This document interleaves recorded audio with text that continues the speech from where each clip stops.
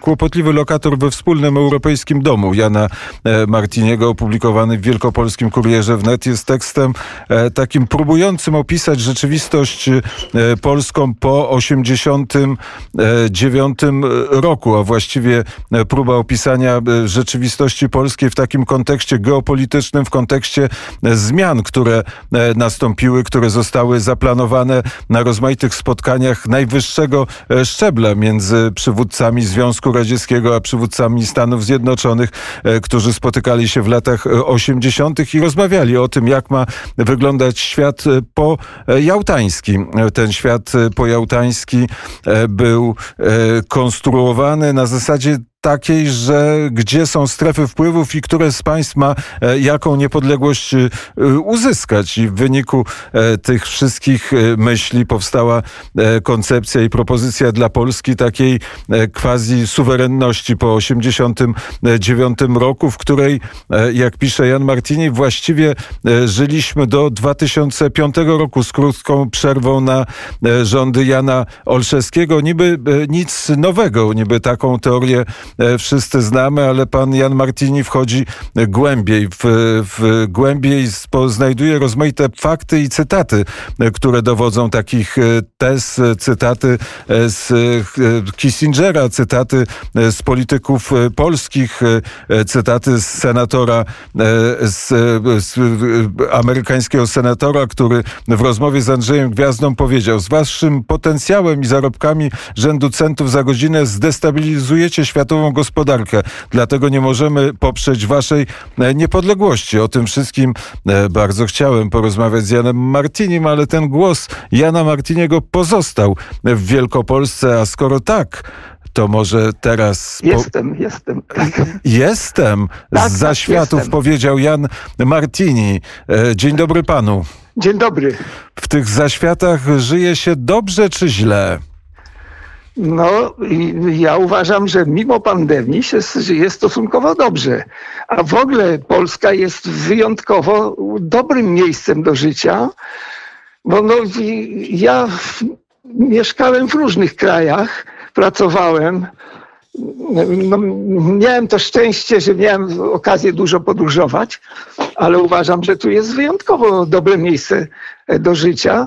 Szkoda, że no co najmniej połowa naszego społeczeństwa nie podziela y, właśnie tej opinii i obawiam się, że się czują bardzo niekomfortowo.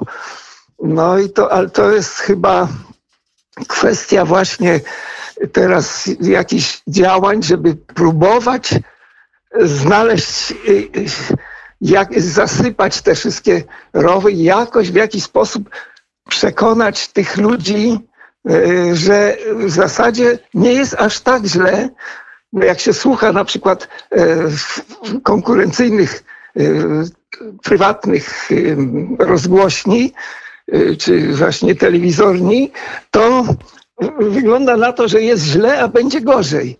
Tymczasem, no, na przykład oglądając telewizję polską, to znowu na odwrót wygląda, że nie jest tak źle i może będzie lepiej.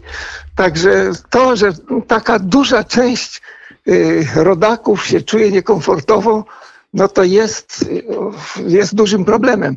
Ale żeby zrozumieć obecną sytuację polityczną, zawsze jednak trzeba się cofnąć do początków pierestrojki, czyli gdzieś no, do połowy lat 80., bo wtedy właśnie zapadły różne ustalenia, właśnie których skutki trwają do dziś.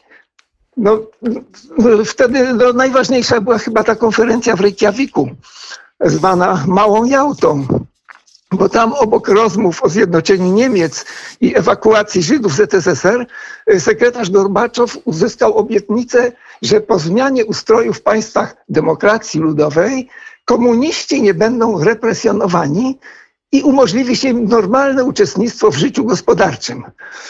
Tak więc no, to jest chyba konsekwencja jest taka, że nie byliśmy w stanie żadnego komunistycznego przestępcy skazać. No a nomenklatura partyjna dostała przyzwolenie właśnie na uwłaszczanie się na majątku państwowym. E, tutaj tak. młodzież, młodzież się z nas śmieje w redakcji, że aż tak głęboko sięgamy w przeszłość, żeby zrozumieć teraźniejszość. W końcu upłynęło już od tej konferencji 36 lat. Czy może ta konferencja mieć jakiekolwiek znaczenie dla nas dzisiaj, tutaj w Warszawie, w Poznaniu, w Krakowie, we Wrocławiu, w Białymstoku? Podejrzewam, że ma ciągle, y, dlatego że te ustalenia y, okrągłostołowe, no to niewątpliwie to było odbiciem y, tych postanowień międzynarodowych, to obowiązują poniekąd do dziś i jakiekolwiek wyszarpanie kawałka suwerenności powoduje wielką reakcję z wszystkich możliwych stron. I to dlatego rządy PiS mają tak złą prasę i na wschodzie, i na zachodzie, i na Bliskim Wschodzie, wszędzie po prostu, w przeciwieństwie do rządów poprzednich, które zawsze no, wzbudzały powszechny zachwyt. No bo po prostu mm, wpasowywały się doskonale właśnie w te ustalenia ale to podejrzewam, że aspiracje Polaków są większe. No ja, ja to właśnie tak się zastanawiałem, czy nasz potencjał nie działa na naszą, na niekorzyść naszej podmiotowości, że nam wolno mniej i mamy taki jak gdyby ściślejszy nadzór. W Czechach można było zrobić opcję zerową i zlikwidować komunistyczne służby. My musieliśmy jednak zostawić te komunistyczne służby. Także nie bardzo rozumiemy, długi czas nie rozumieliśmy tego parasola ochronnego nad komunistami ze strony Ameryki. Dlaczego forsowali Jaruzelskiego na prezydenta? Dlaczego y, uważali, że nie powinniśmy zlikwidować komunistycznych służb, czyli SB i WSI? No, z, wprawdzie tutaj się dokonała taka kosmetyczna operacja, że e, część tych służb z SB przemianowano na UROP, a później ABW. E, no, tych najbardziej skompromitowanych odsunięto, przeszli oni do, do biznesu, e, funkcjonariusze. Natomiast w zasadzie trzon tych służb został no, w zasadzie to nietknięty. No i po prostu doszedłem do wniosku, że e, byli oni najlepszym gwarantem ustaleń okrągłego stołu. Oczywiście jeszcze e, z sądownictwem, którego też nie można ruszyć. E, właśnie coraz się przekonujemy, czego nie wolno ruszyć. Autonomicznych uczelni, niezawisłych sądów, wolnych mediów, Ministerstwa Spraw Zagranicznych. No, coraz czegoś takiego właśnie coś takiego wychodzi, czego nie wolno nam zmieniać. Ale czy to ma znaczenie w 2021 roku, kiedy 21 lat i pełną pełnoletność mają ci, którzy się urodzili już w XXI wieku? Jak w takim razie powiedzieć, tak to ma znaczenie w czwartym, w piątym, a nawet w szóstym roku rządów Prawa i Sprawiedliwości?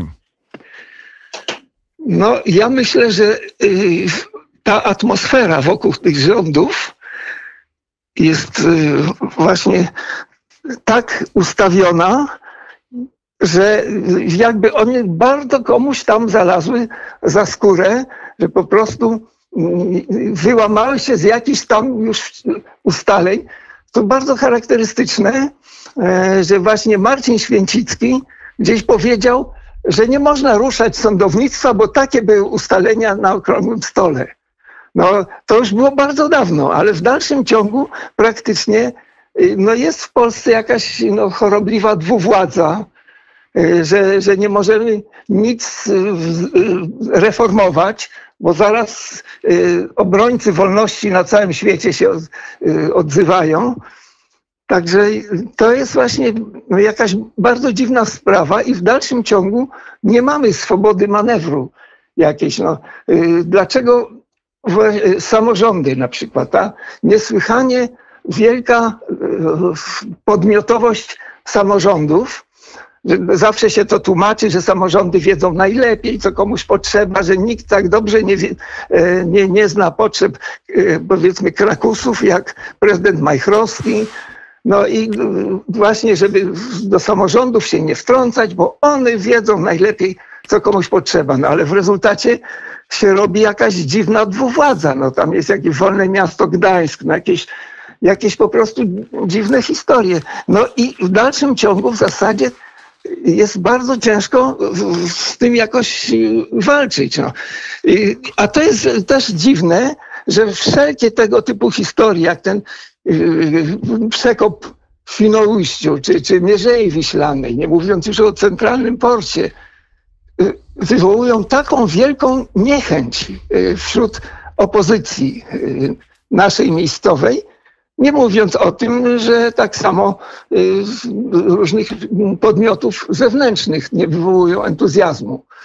No i to, to wydaje mi się, że to co ciągle są konsekwencje właśnie tych ustaleń.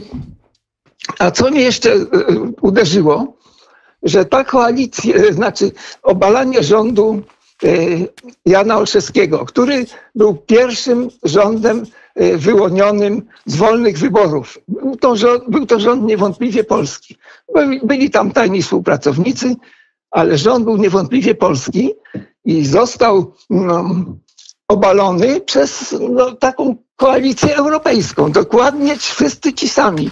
Plus jeszcze właśnie KPN, który tą niszę y, rynkową zajął, co obecnie ma Konfederacja. Oni wszyscy właśnie wspólnie i, i, i właśnie to wspólne działanie e, wszystkich innych sił politycznych, no i zawsze to gdzieś w tyle głowy świadomość, że Prawo i Sprawiedliwość nie ma zdolności koalicyjnych. Cytuję, zasadzie... cytuje pan w swoim artykule słynne e, słowa z nocnej zmiany, słowa wypowiedziane przez Donalda Tuska. Musimy się policzyć. No właśnie, no znaczy to oni się policzyli, no i jest w każdym razie do, do tej pory się policzyli, no zwłaszcza przy tym, e, przy teraz wyborach prezydenckich.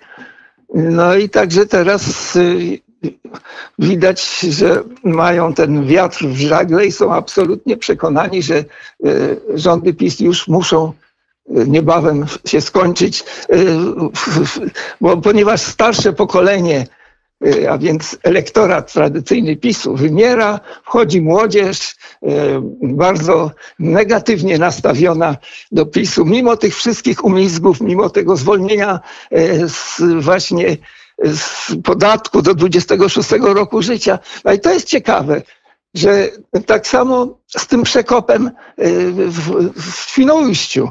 Przecież to jest miasto, które absolutnie zawsze głosuje na y, Platformę Obywatelską, pomimo że powinni sobie zdawać sprawę, że to właśnie Platforma Obywatelska y, zastopowała drążenie tego tunelu, bo przecież były prace rozpoczęte już za poprzedniego PiSu. No ale to i tak samo podejrzewam, że nawet jak będzie ten przekop Mierzei, to nie wpłynie na wyniki wyborcze w województwie. E, tam właśnie e, ludzie w Elblągu czy w Gdańsku to będą głosować e, po swojemu. No także i tak samo jak żadne wyniki gospodarcze i wzrost poziomu życia nie wpływają w sposób jakiś zasadniczy na preferencje wyborcze. No to właśnie niedawno to było udowodnione w Stanach Zjednoczonych, że mimo wielkich osiągnięć administracji Trumpa, to wszystko bardzo łatwo jest po prostu przewalczyć. No, bo tam, gdzie wchodzą w grę emocje. No a emocje no, są naprawdę duże siły, bardzo fachowe, które są w stanie właśnie te emocje rozhuśtać. I o tym wszystkim mogą Państwo przeczytać, a właściwie argumenty e, pana Jana Martiniego na rzecz tych tez mogą Państwo przeczytać w najnowszym Kurierze Wnet. Kłopotliwy lokator we wspólnym europejskim domu. Takiego tekstu należy szukać. Bardzo serdecznie dziękuję Panu za rozmowę. Dziękuję.